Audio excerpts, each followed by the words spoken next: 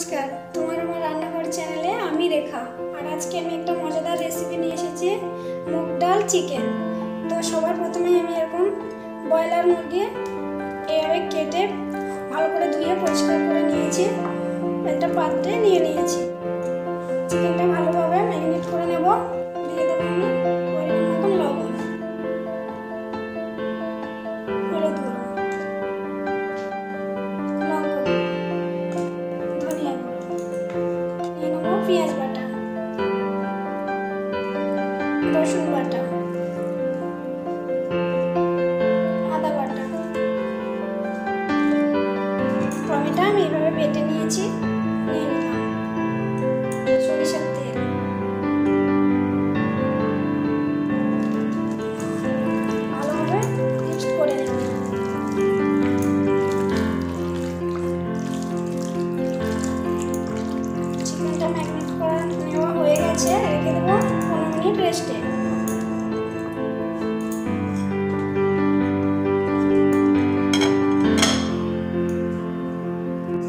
দিয়েছি দিয়ে কড়াই বসিয়ে দিয়েছি। কড়াই গরম হতে দেবো আর গরম হয়ে গেছে, দিয়ে দেবো তেল।